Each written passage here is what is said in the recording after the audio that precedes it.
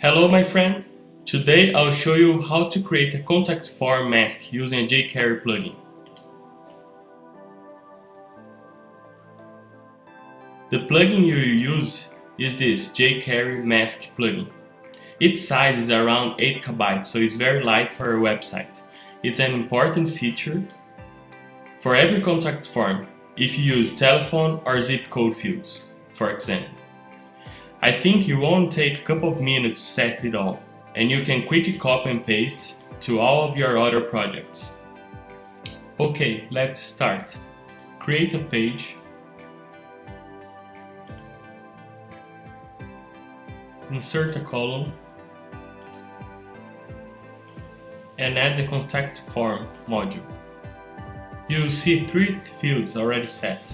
Create a new one named telephone.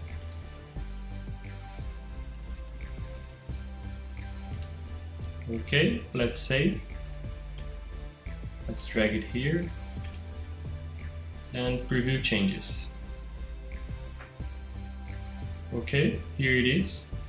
Now click to inspect the telephone field and write it down ed name.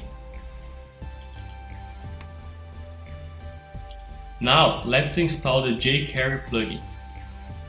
Use this cdnjs.com to search for jQuery.mask.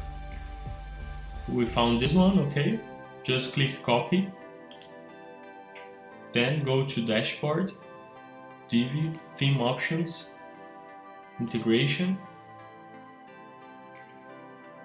and put the code not like this, the way you copy. Just add the script tag, okay? So the final code should look like this. And don't forget to add the type here. So when you click the field, it already loads the mask.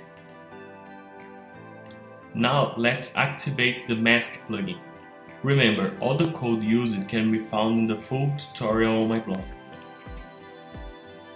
Just paste the code like this, okay? Here is the pattern that you use for the mask.